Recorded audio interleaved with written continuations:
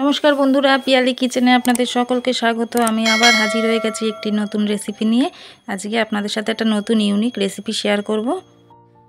Pink সিঙ্গারার তালে চলুন দেখে নিই। আমি গ্যাসে একটা চাটু বসিয়ে দিয়েছি, তার মধ্যে আমি দুটো শুকনো লঙ্কা দিয়েছি, আর খানিকটা আমি পাঁচফোড়ন দিয়েছি। এটাকে কিন্তু আমি হালকা হালকা করে ভেজে নেব মানে বেশি লাল করব না, বেশি লাল করলে পাঁচফোড়নটা পুড়ে যাবে আর তিতো লাগবে। তাহলে চলুন, আমার ভাজা ওটা হয়ে গেছে, আমি ওটা হালকা করে গুঁড়ো করে নিয়েছি। আমি এখানে চারটে আলু সিদ্ধ করে রেখেছিলাম খোসা সমেত আমি ওটাকে টুকরো টুকরো করে নেব। সিঙ্গারা সবসময় আপনারা জানেন খোসা সমেতই আলু থাকে।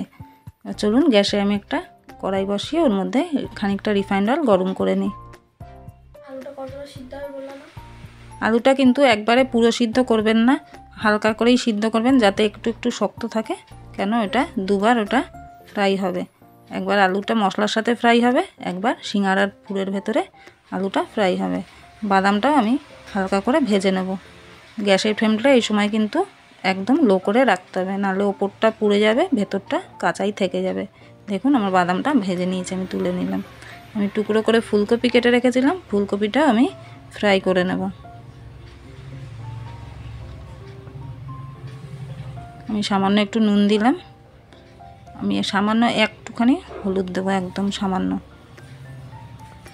দিয়ে আমি ফুলকপিটা ভেজে নেব। ফুলকপিটা আমার ভাজা হয়ে গেছে, আমি ফুলকপিটা তুলে নেব। তুলে আমার যে তেল, ফুলকপি ভাজার তেলের মধ্যেই আমি যে পাঁচ ফোড়না শুকনো লঙ্কাটা গুঁড়ো করে রেখেছিলাম, আমি ওটা ওর মধ্যে অ্যাড করে দিলাম। একটা সুন্দর গন্ধ বেরাবে। তারপরে আমি যে আলুটা টুকরো করে রেখেছিলাম খোসা সমেত, আমি ওটা মশলার মধ্যে দিয়ে দেব। আমি আলুটাও হালকা করে নাড়াচাড়া করে নেব। তারপরে আমি সব এক এক করে ওর মধ্যে অ্যাড করব। আমি স্বাদ মতো নুন দিলাম।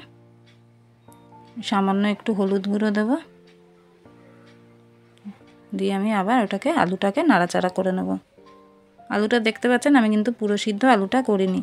আমি আদা আর কাঁচা লঙ্কা থেতো করে রেখেছিলাম। আদা, কাঁচা লঙ্কা কিন্তু এর মধ্যে থেতো করেই দিতে লাগবে, কেন মিষ্টির দোকানে দেখ, নিশ্চয়ই খেয়ে দেখেছেন, ভেতরে কাঁচা লঙ্কা চোকড়া থাকে। আমি এটা কিন্তু বাটিনি, আমি থেতো করে দিয়েছি। আপনারাও থেতো করে দেবেন। আমি সামান্য একটু কড়াইশুঁটি দিলাম। এখন শীতকাল, এখন কড়াইশুঁটি তো ফুলকপি, কড়াইশুঁটি সবার ঘরেই থাকে। ফুলকপি, কড়াইশুঁটি দিয়ে সিঙ্গারা খেতে অসাধারণ লাগে। আমি সামান্য একটুখানি জল দিলাম যাতে কড়াইশুঁটিটা সিদ্ধ হয়ে যায়। আমি ভাজা ফুলকপিটা ওর মধ্যে অ্যাড করে দিলাম। সন্ধেবেলা চায়ের সাথে তো সিঙ্গারা থাকলে আর কোনো কথাই নেই, একদম জমে যাবে সন্ধেটা। বাদামটা যে আমি ভেজে রেখেছিলাম, ওটাও আমি ওর মধ্যে অ্যাড করে দিলাম।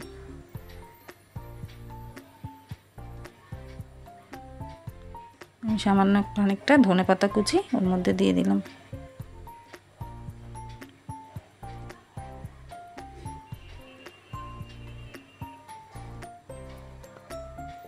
পুরটা আমার হয়ে এসছে।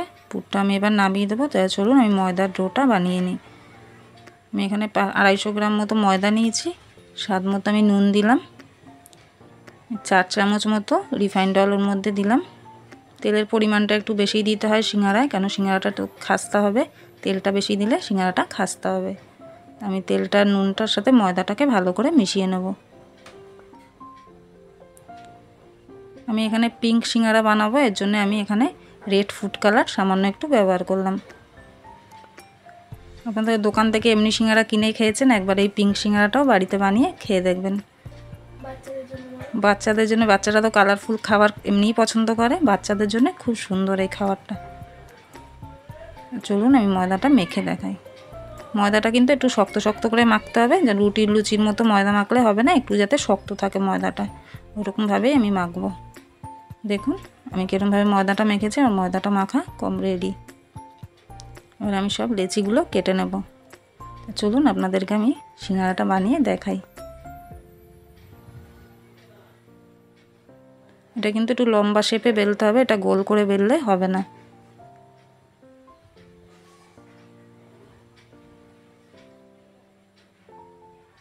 দেখুন আমি কীভাবে মুড়াচ্ছি সিঙ্গারাটা। আমি একটু সামান্য জল ওর মধ্যে দিয়ে দিলাম। গায়ে সামান্য অল্প করেই জলটা লাগাতে হবে। জলটা লাগালে পুরো মুখটা সিল হয়ে যায়। দেখুন, আমি সিঙ্গারার বাটিটা বানিয়ে নিয়েছি। এর ভেতরে আমি এবারে পুরটা দেব। পুর কিন্তু আমি একদম চেপে চেপে ঠেসে ঠেসে দেবো না, একদম অল্প অল্প করেই পুর দেবো। না, বেশি পুর দিলে ফেটে বেরিয়ে যাবে পুরটা। এবার আমি মুখটাতে পুরো জল লাগিয়ে দেবো, অল্প করে। জল লাগিয়ে এবার আমি মুখটাকে সিল করে দেবো।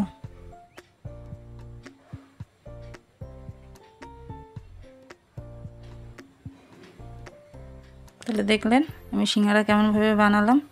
আমার সিঙ্গারাটা বানানো রেডি তাহলে চলুন, এইভাবে আমি সব সিঙ্গারাগুলো রেডি করে নিই। তারপরে আপনাদেরকে আমি ভেজে দেখাচ্ছি। আমার সব সিঙ্গারাগুলো রেডি হয়ে গেছে। এবার চলুন, আমি আপনাদেরকে সিঙ্গারাটা ভেজে দেখাই। আমি পরিমাণ মতো তেল দিলাম। সিঙ্গারা ভাজতে একটু তেলটা বেশিই লাগে, কেন ডুবো তেলে সিঙ্গারাটা ভাজতে হয়। আর তেল কিন্তু পুরো হাই একদম আজে, কিন্তু গরম করা যাবে না, হালকা গরম করে তেলটা দিতে হবে। দেখুন আমার তেলটা কতটা গরম হয়েছে। আপনারা নিশ্চয়ই দেখে বুঝতেই পারছেন আমি তেলটা পুরো গরম করিনি। এভাবে আমি সিঙ্গারাগুলো ভেজে নেব। আমি একবারে পাঁচটা করে ভাজছি।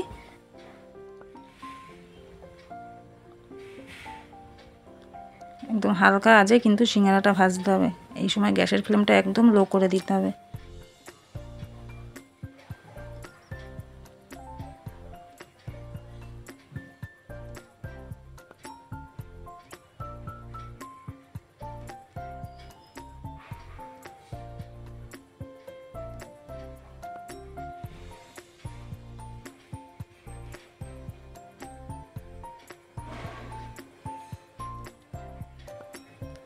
হালকা হাতে নাড়াবেন। দেখুন, আমার সিঙ্গারা কিন্তু কালার চলে এসছে।